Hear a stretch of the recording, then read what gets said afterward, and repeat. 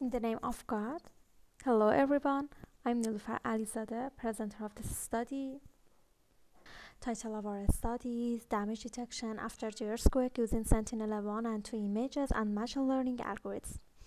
Uh, also our case study is Sarpol Zahab earthquake. One of the most important applications of remote sensing is change detection.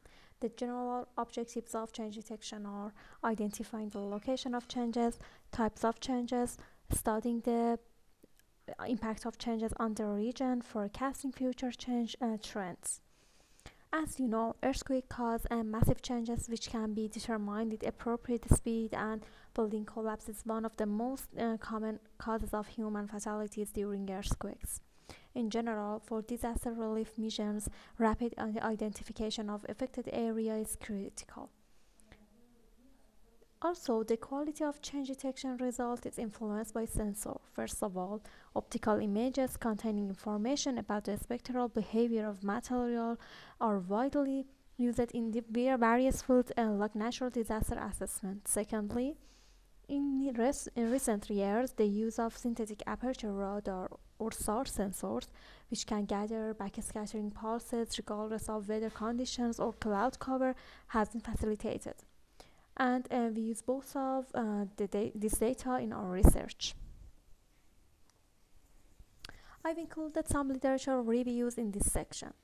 Uh, like Khodaverdi et al., they proposed an object-based uh, strategy based on artificial neural network to detect destructed building from high-resolution WorldView-2 satellite images after the 2010 Haiti earthquake. Their findings show that the proposed method could achieve an overall accuracy of 93%. After that, Sifa et al they used uh, the pre and post disaster data of Sentinel-2 and Landsat 8 images from Donggala County in Indonesia to assess the changes after the earthquake. Their findings show that ANN and SVM algorithms can efficiently detect the changes since achieved accuracies were 63% with uh, Sentinel-2 and 85% with Landsat 8. Next research is Hamedi et al. They tested and implemented uh, an algorithm based on CNN, modified U-Net architecture, in, uh, in an ArcGIS environment to automatically detect uh, and map the uh, damage areas in a forestry area in Bavaria, Germany. The results uh, show an overall accuracy of 92 in their percent in their study area. Next research is Putri et al. They fused two data Sentinel-1 and 2 data for building damage assessment mapping after the 2018 Lombok earthquake. They used three types of data like Sentinel-1, Sentinel-2 and the fusion of both datasets and classified them with random forest and fused data provided uh, the highest overall accuracy value 62% compared to single. According to the mentioned study, studies, the following important points have received less attention from our uh, researchers. Most researchers only use a single source of remote sensing data, such as optics images, and uh, discard, um, discarded the ability of other sensors, uh, such as radar images. Most of the proposed methods only consider the damage, uh, damaged buildings as the critical change class while detecting the debris areas, uh, especially on roads, is another important issue discussed in uh, mentioned, mentioned studies. The present study aimed to detect the changes in Sarpol Zahab city after the massive uh, 7.3 uh, magnitude earthquake in uh, 20 17 uh, this paper has two phases. In the first phase motivated by the uh, efficiency of machine learning methods in change detection a hybrid method is proposed based on optical and SAR images to detect the changes in urban area after uh, the earthquake. In the second phase radar images are used to detect the debris area accurately in Kermanshah province at 2184 on November 21, 2017, an earthquake with a magnitude of 7.3 occurred about uh, 20, uh, 37 kilometers uh, northwest of Sarpol Zahab city. This earthquake severely damaged the rural and urban areas of Kermanshah. C uh, cities and villages suffered more casualties and damage as uh, we approached uh, Sarpol Zahab so the most damage was observed there which you can see its location in figure 1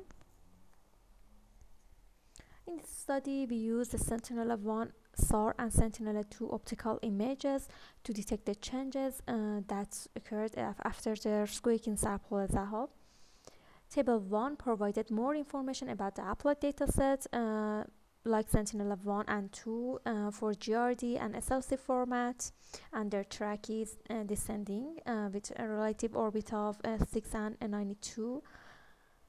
Some basic pre-processing steps uh, were performed on Sentinel-1 SAR images in SNAP software such as geometric correction, radiometric correction, and speckle filtering. For the Sentinel-2 sensor uh, with 13 spectral bands, level 2A images are produced after pre-processing the level 1 images, level 1C. SNAP's uh, uh, Sen2Cor algorithms used for atmospheric corrections, radiometric and geometric correction also are applied. Finally, according to the different uh, spatial resolutions uh, in different bands, bands uh, with 16 meter spatial resolution are resampled to 10 meter resolution. As an important note, it should be ensured that all images are georeferenced. About our methodology, as uh, stated earlier, the proposed method has two phases. In the first phase, named uh, generated changes map, change detection maps of urban landscapes are generated using optical and SAR images. In the second phase, name generate debris map we uh, proposed a method based on SAR images to detect the debris especially on roads. Figure 2 depicts the flowchart of uh, the proposed method. According to figure 2 in the first stage uh, we process uh, both sources of a remote sensing dataset bitemporal sentinel-1 and 2 images by using the generated uh, ground truth map initial two class classified images urban, non-urban of each source of data are generated by four supervised classification methods SVM, random forest, multi-layer neural network or MLP, and uh, nearest neighbor or uh, KNN. It seems that uh, by using the multiple uh, classifier systems, more accurate results um, have been reached.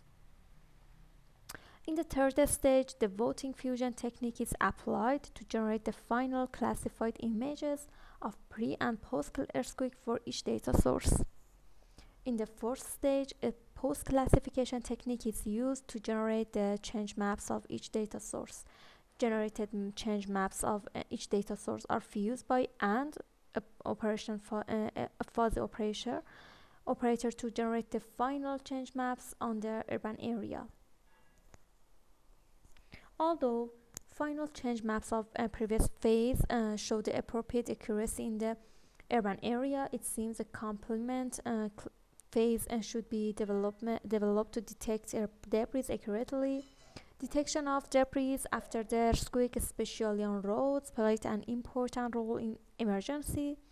The phase only uses the Sentinel. Um, this phase only uses the Sentinel-1 datasets uh, and has the following four major stages as uh, shown in figure 3. In the first stage, uh, we process bitemporal Sentinel-1 images. In the second stage, we use uh, the simple ratio change detection method. A change map of radar images is generated from VV polarization. To convert uh, raster data into vector maps of changes, QGIS software is used. We compare generated vector change map and uh, transport network uh, vector data to detect the blocked roads by debris. About our result and discussion, in this section, we aim to assess the result of our method in detecting the changes in the urban areas and road debris. To do so, for both evaluations, uh, we compared the generated results of this study with ESA products for evaluating uh, the first phase uh, of the proposed method as shown in figure 4. Based on the UNITAR UNOSAT product, the highest uh, rate of destruction was in the northwestern and central regions, which is good agreement with the map created in the in the study. As stated earlier, in the second phase, a simple pixel-based ratio method detects uh, the debris area and blocks the road from Sentinel-1 images. To validate this phase, generated map of debris uh, from the purpose method is uh, visually compared with the UN UNITAR uh, UNOSAT product provided by the ESA. Figure 5 uh, shows the generated debris map of the purpose method and the yellow lines uh, are, are the roads and the debris and um, the red dots include the debris created in the urban area. Finally, about our conclusion, in this study, a two-phase change detection approach is developed to assess the changes that occurred after the massive Zaho earthquake by satellite images.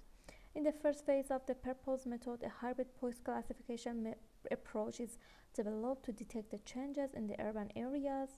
In this phase, change detection maps of Sentinel-1 and 2 are combined at the decision level to produce the final change maps. The second phase of the purpose method uses um, the Sentinel-1 datasets and a simple ratio change detection method to produce the debris, ma debris map uh, more, more accurately. Finally, uh, final generated uh, maps are evaluated uh, visually with the generated damage map of ESA. The final result demonstrates the good agreement between the uh, produced uh, dam damage maps of proposed method uh, and ESA maps.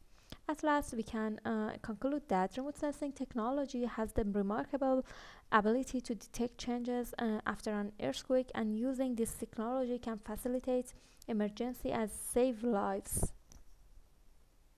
and they are all our references. Thanks for your attention